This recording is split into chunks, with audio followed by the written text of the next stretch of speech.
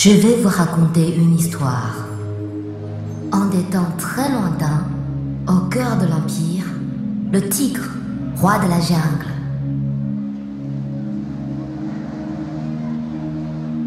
le dragon, roi de l'eau,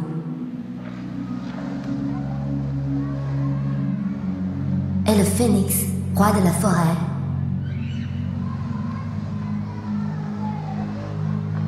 demandèrent audience au puissant empereur de Jade pour se plaindre des mauvais traitements infligés aux animaux par les hommes.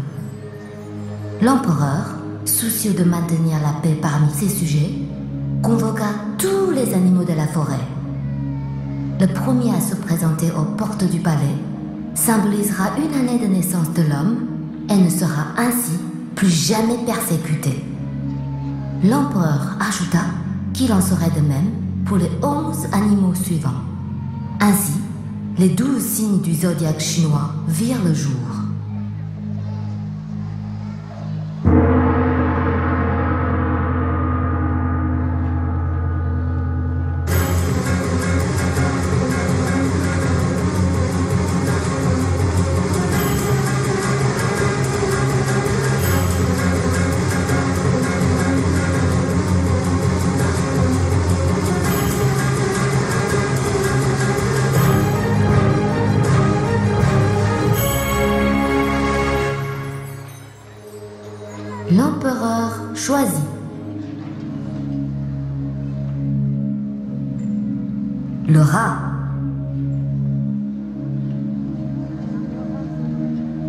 Le buffle.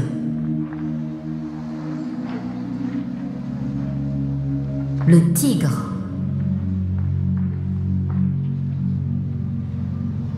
Le lapin.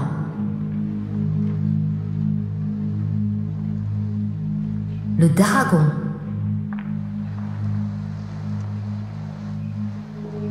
Le cheval.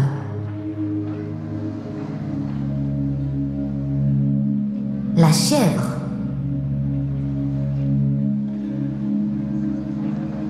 Le singe.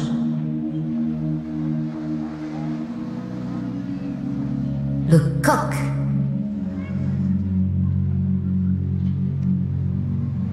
Le chien.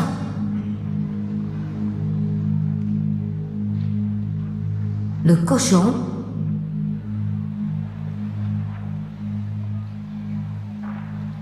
Et le serpent.